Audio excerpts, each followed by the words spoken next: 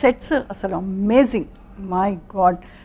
మీరు కూడా చెప్పారు. అర్జున్ తర్వాత ఆ రేంజ్లో నాకు నచ్చిన సెట్ అంటే ఇది ఈ మూవీకి అన్నారు. సో తోటతరణి గారి గురించి. ఆయన అసలు ఆయన గురించి మరి చెప్పాల్సినంత ఎక్స్పీరియన్స్ కూడా లేదండి. ఈజ్ జస్ట్ అన్బిలీవబుల్ ఏమన్నా అసలు ఇప్పుడు మనకు ఐడియా వచ్చి పాట ఇలా చేద్దామంటే ఇమీడియట్గా అక్కడే స్కెచ్లు వేసి చూపించేస్తూ ఉంటారు అనమాట means is that amazing and ఇవాళ మా సినిమాలో ఈ క్వాలిటీ ఉందంటే మెయిన్ తరణి గారు. ఆయన వేసిన సెట్స్ కానీ ఒక హౌస్ సెట్ అసలు ఎక్స్ట్రాడినరీగా వేసాడు మాకు. విజయవాడలో ఒక హౌస్ అని చెప్పాం.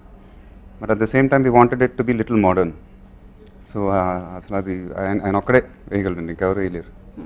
ఈ సినిమా చూసాక ఏది సెట్ ఏది రియల్ అని మేమేమన్నా కన్ఫ్యూజన్లో ఉంటామా?